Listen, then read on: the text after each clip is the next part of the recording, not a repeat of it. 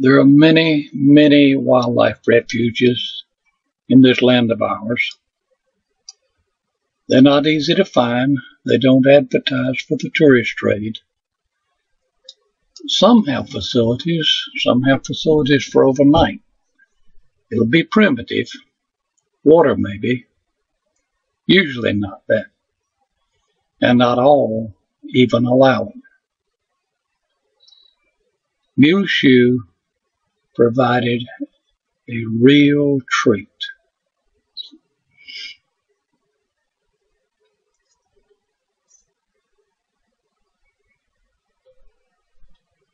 It's an arid land, southwest section of the Staked Plains, and without the irrigation and without the modern improvements.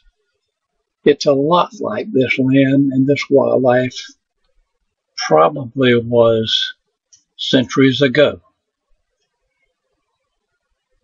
Sit back and look.